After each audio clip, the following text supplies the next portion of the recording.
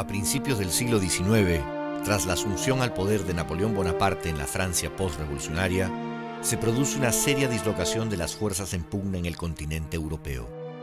Los propósitos políticos de las diversas naciones y poderes imperiales conducen a un enfrentamiento armado continental, en el cual Francia se convierte en el agente y causante principal de una gigantesca conflagración multinacional. Napoleón invade desde Francia, por una razón u otra, con un pretexto u otro, todos los países europeos circundantes en un evidente proyecto de hegemonía imperial. Tras fracasar en su intento de invadir Gran Bretaña, al caer derrotado por la Armada Británica en la batalla de Trafalgar, Napoleón negocia con España, mediante el Tratado de Fontainebleau del 27 de octubre de 1807, el paso de las tropas francesas por territorio español con el objeto de conquistar Portugal, aliada tradicional de la Gran Bretaña. En marzo de 1808, el ejército francés, bajo el mando del mariscal Joaquín Murat, entra a Madrid. Desconfiando finalmente de las reales intenciones del supuesto aliado, el ministro Manuel Godoy recomienda a la familia de Carlos IV, rey de España, retirarse a Cádiz y, de ser preciso, buscar refugio en los territorios americanos. Ante el aparente vacío de poder, el príncipe heredero, Fernando VII, lo asume en lo que podría ser considerado un golpe de Estado. Napoleón interviene en la confusa situación política desatada, obligando a ambos monarcas a abdicar y proclamando a su hermano, José Bonaparte, rey de España, en la ciudad de Bayona. Este acto de usurpación es respondido por el pueblo español con levantamientos violentos y con la conformación, en las ciudades no ocupadas por los franceses, de juntas supremas de gobierno. Estas, en septiembre de 1808, declaran nulas las abdicaciones de Bayona y asumen gobernar en nombre del que consideran su legítimo rey, Fernando VII. Unificadas las diversas juntas el 25 de septiembre de 1808 en una Junta General Suprema Gubernativa, bajo la dirección de políticos liberales como Lorenzo Calvo de Rosas, Gaspar Melchor de Jovellanos y José Moñío y Redondo, que la preside, se convoca a Cortes el 22 de mayo de 1809, pero no a la usual asamblea de los estamentos de nobleza, pueblo y clero, sino a una de diputados representantes de todas las regiones del reino español. El 14 de febrero de 1810 se remite a los virreinatos de América la convocatoria, invitándolos a través de los cabildos a elegir diputados para las Cortes. Las elecciones americanas se efectúan en México, Centroamérica y el Perú. Sin embargo, al estar la mayor parte de España bajo dominio francés, se decide que, en un primer momento, se elijan por las regiones americanas diputados suplentes que residan en Cádiz. Al Virreinato del Perú se le asigna la representación de cinco diputados suplentes. Un grupo de 30 representantes del Perú residentes o vecinos de Cádiz y de la isla de León, son convocados por el Consejo de Regencia para elegir entre ellos a los cinco diputados suplentes de las Cortes. Este grupo de notables de origen peruano o con estrecho vínculo con el Perú eligen como diputados suplentes de las Cortes de Cádiz a Vicente Morales Duárez, Ramón Olaguer y Feliú, Blas Ostolaza, Dionisio Inca Yupanqui y Antonio Suazo. Vicente Morales Duárez nació en Lima en 1755 y se recibe de abogado de la Real Audiencia el 7 de junio de 1779. Nombrado procurador de la Universidad de San Marcos y del Cabildo de Lima para tratar asuntos concernientes a ambas instituciones ante la Corte Española, se embarca en el Callao el 13 de enero de 1809 en el navío La Fuente Hermosa con destino a España. Llega a Cádiz el 7 de agosto y apenas llegado el 13 de septiembre, es nombrado alcalde del crimen de la Audiencia de Lima. Pensando cumplir prestamente sus comisiones y regresar a Lima para hacerse de su nuevo cargo en la audiencia, es, sin embargo, elegido el 20 de septiembre diputado suplente por el Perú en las Cortes de Cádiz, y debe entonces quedarse en España para desempeñar tan importante encargo. Su participación en las Cortes resulta de tal brillo y elocuencia que es elegido vicepresidente de las mismas en diciembre de 1810, luego miembro de la Comisión de Constitución y finalmente presidente de las Cortes el 24 de marzo de 1812. Sir Arthur Wesley, que fuera después duque de Wellington y entonces embajador británico en Cádiz, le ofreció un banquete el primero de abril de 1812 por su nombramiento como presidente de las Cortes. El día siguiente, a las cinco y media de la mañana del 2 de abril, Morales Duárez es hallado muerto en su habitación por su colega y compatriota Blas Ostolaza, sin que se haya podido establecer con precisión la causa de la muerte, aunque corrieron rumores de que había sido asesinado. La figura de Vicente Morales Duárez, de dimensión mundial, es una de las más importantes que haya tenido el Perú, habiendo alcanzado, durante su presidencia de las Cortes de Cádiz, el más alto cargo obtenido por un nacido en el territorio peruano en la estructura política del Imperio Español durante los tres siglos del virreinato. Ramón Olaguer y Feliu nació en Ceuta el 25 de noviembre de 1784, pero creció y se educó en el Perú. Estudia en el convictorio de San Carlos, donde ingresa el 29 de mayo de 1802, donde fue maestro. Ejerce la abogacía en Lima antes de viajar a España, en donde es designado diputado suplente por el Perú y participa en las sesiones de las Cortes con apasionamiento y lucidez, defendiendo con gran facilidad de palabra sus convicciones liberales. Blas Ostolaza nació en Trujillo en 1770, en donde se ordena de diácono en 1798 y es nombrado comisario del Tribunal del Santo Oficio. Tras renunciar el 8 de octubre de 1801, se dirige a España en 1802. Ahí se vincula estrechamente con la familia real y habiéndose convertido en persona de entera confianza de Fernando VII, lo acompaña a Bayona y después al exilio en Valensay, Francia. En 1810, las autoridades francesas lo obligan a separarse del rey y no pudiendo embarcarse para el Perú, se afinca en Cádiz. El 25 de julio proclama en la iglesia del Carmen de la ciudad un aclamado discurso apologético de Fernando VII, lo que tiene como consecuencia su elección como diputado suplente del Perú en las Cortes, a las que asiste y en donde defiende con habilidad oratoria, ardor e inflexibilidad la postura monárquica absolutista, enfrentándose violentamente a los liberales constitucionales. del número de habitantes de aquel continente. Hubo reclamación y protesta antes de la Junta de Electores, donde protestamos de nuevo contra el número de diputados de América. Se ha querido fundamentar un argumento en contra de nuestra proposición contraria a los principios y aún a las ideas de los reyes católicos que nos consideraron una provincia de Castilla. La patria, señor, está en peligro. Considérese aquí y considérese en ultramar. Aquí nos han reducido a un pequeño punto y allá hay conmociones Dionisio Uchu Inca Yupanqui nació en Lima, posiblemente en 1760, mestizo, hijo de Domingo Uchu Inca y Ampuero, alférez del presidio del Callao, descendiente directo de Tupac Yupanqui. Dionisio Uchu Inca Yupanqui es llevado a España de niño por su padre y se educa en el Seminario de Nobles de Madrid. Ingresa al Ejército Real en 1774, en donde alcanza el rango de teniente coronel de dragones. Como diputado de las Cortes, Dionisio Inca Yupanqui se esforzó por lograr dos objetivos fundamentales, la abolición de la mita y la erradicación de los tributos de los indios.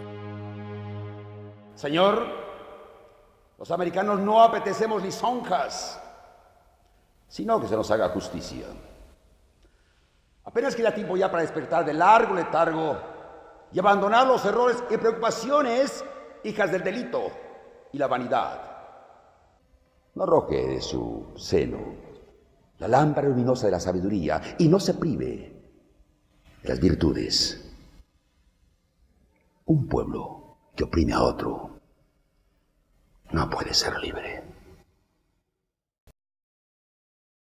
Antonio Vicente Suazo y Mondragón nació en Lima, pero vivió en la península ibérica desde niño. Fue brigadier de los Reales Ejércitos y elegido diputado suplente por el Perú en las Cortes y perteneció a las comisiones de guerra, honor y regencia.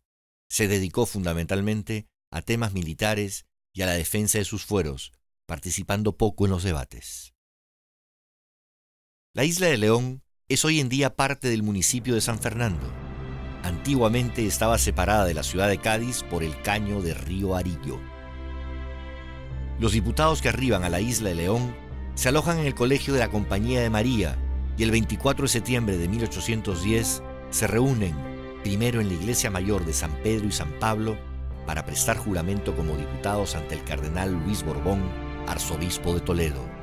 Después se trasladan al Teatro Cómico de la Real Isla de León para la sesión inaugural de las Cortes.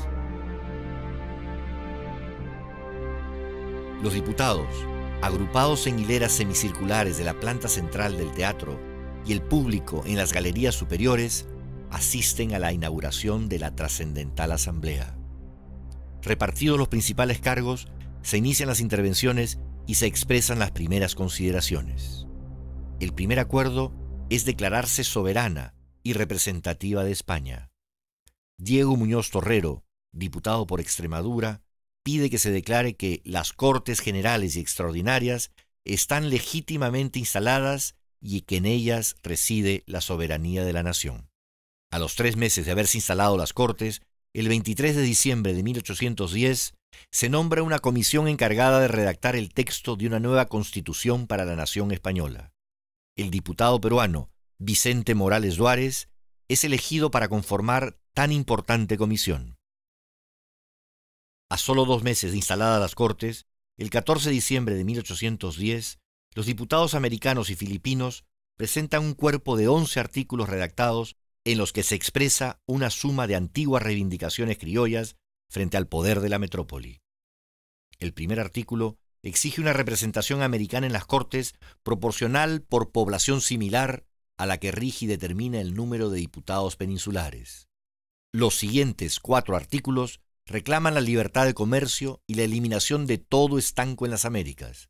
El artículo octavo sostiene que los españoles americanos, los indios y los hijos de ambas clases gozan de igual oportunidad que los españoles peninsulares en la selección para cualquier clase de cargo o empleo en todo el territorio español.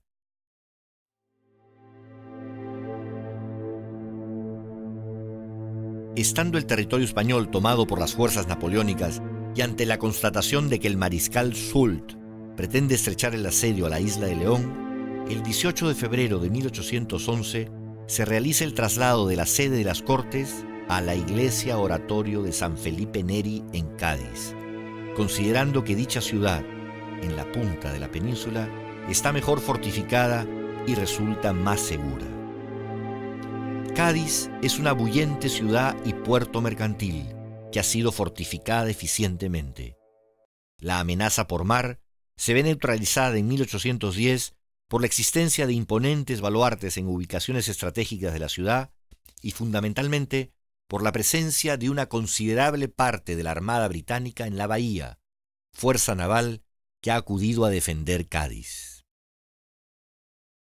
Naturalmente, esta ciudad es la misma que va a ver los acontecimientos del asedio napoleónico, de las reuniones de las Cortes y de eh, dar a luz a la Constitución del 12 prácticamente la misma ciudad. Se pasa aquí en Cádiz, si acaso, de un barroco tardío a un neoclásico, y son pocas las obras que van a hacer variar la ciudad, y por estar circundada por el mar, pues el perfil de ciudad prácticamente no acaba, o sea, ni, cambia, y las fortificaciones son exactamente las mismas también y demás. Es decir, que la ciudad por la que pasearon ¿eh? los diputados, don Vicente Morales Duárez, en fin, los grandes personajes que hicieron la, la historia de la época, se movieron por esta ciudad, ¿no?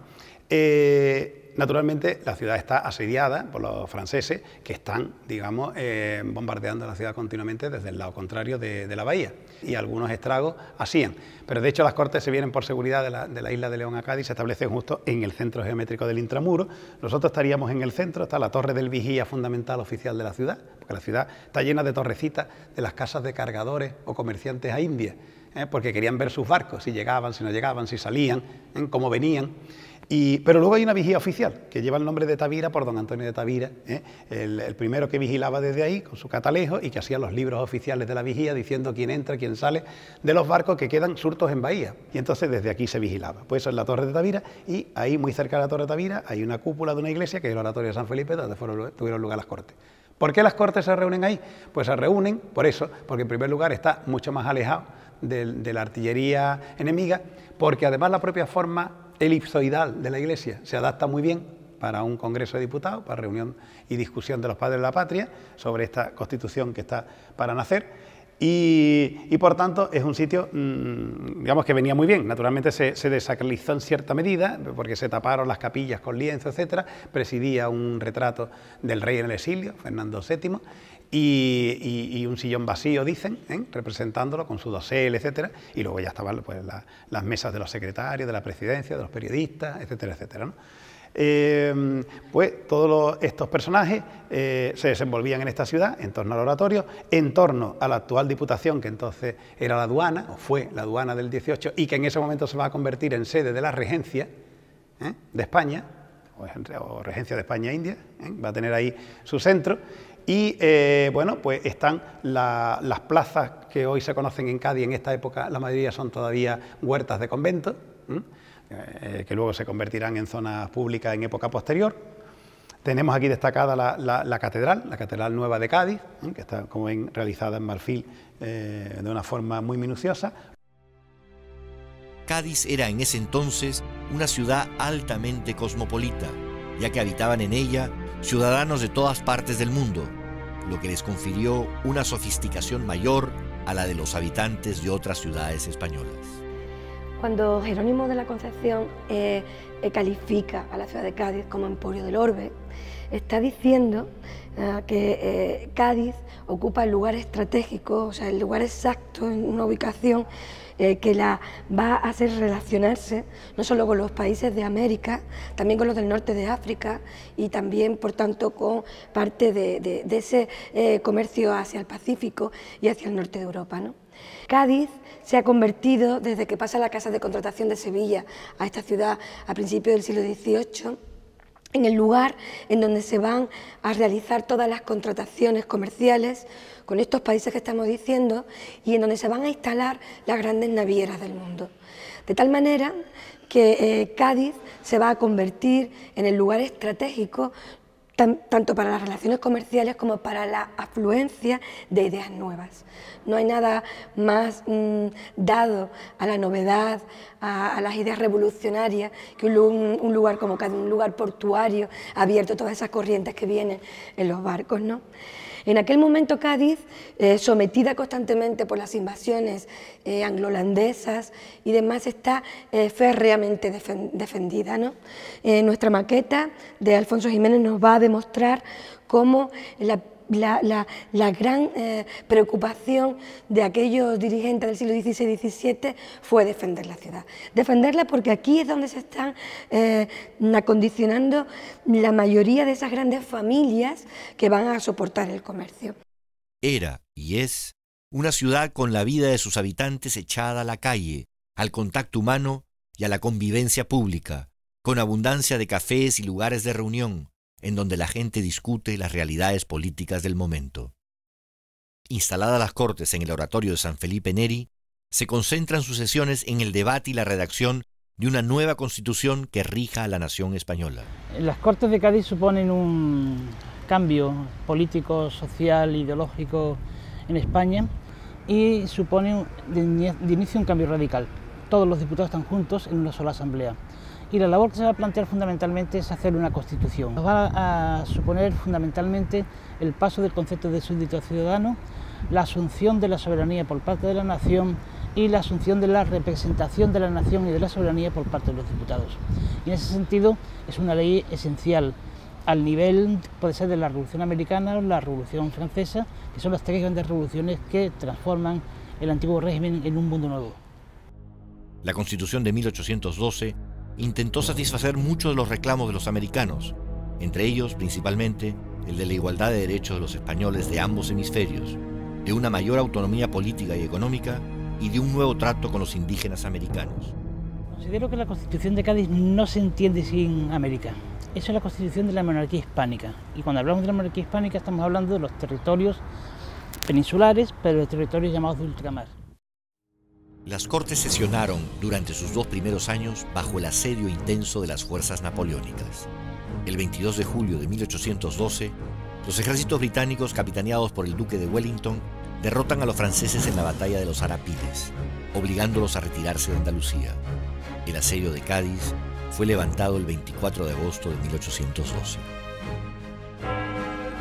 El 19 de marzo de 1812, en un estrado levantado en los exteriores del oratorio de San Felipe Neri, en medio del júbilo de los habitantes de la ciudad y de los miembros de las Cortes, se lleva a cabo la proclamación de la Constitución de Cádiz.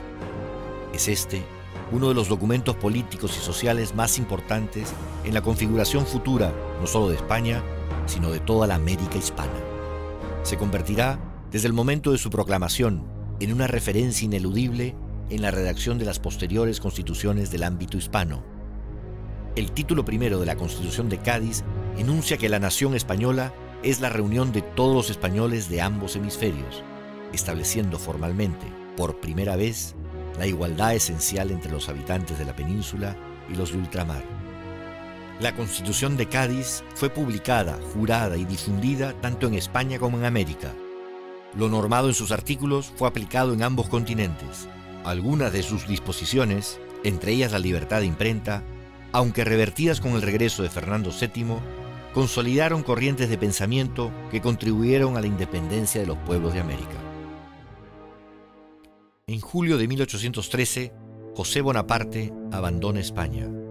A principios del año siguiente, Fernando VII regresa a España. Una parte importante del pueblo español lo recibe con aclamación y lo acompaña en el propósito de reinstalarse en el trono de España. El 4 de mayo de 1814, Fernando VII emite un decreto por el cual disuelve las Cortes, anula la Constitución de 1812 declara sin efecto toda la labor legislativa que las Cortes habían realizado y restaura la monarquía absoluta. Fernando VII se revela como monarca déspota y vengativo, iniciando una cruenta persecución generalizada y una feroz represión en todo el reino contra los diputados y simpatizantes liberales de la Constitución derogada. Con la restauración absolutista desaparecieron la libertad de imprenta, las diputaciones y ayuntamientos constitucionales, se cerraron las universidades, se devolvieron las propiedades confiscadas a la iglesia y se restableció el Tribunal de la Santa Inquisición. El largo itinerario de la Constitución de Cádiz y el largo influjo que ha ejercido lo realizado por las Cortes de entonces y sus diputados miembros ha concluido. Su influencia amplia y perdurable se prolongará, sin embargo, durante todo el siglo XIX en el continente hispanoamericano, contribuyendo a determinar la forma como se organizan y se gobiernan las naciones americanas.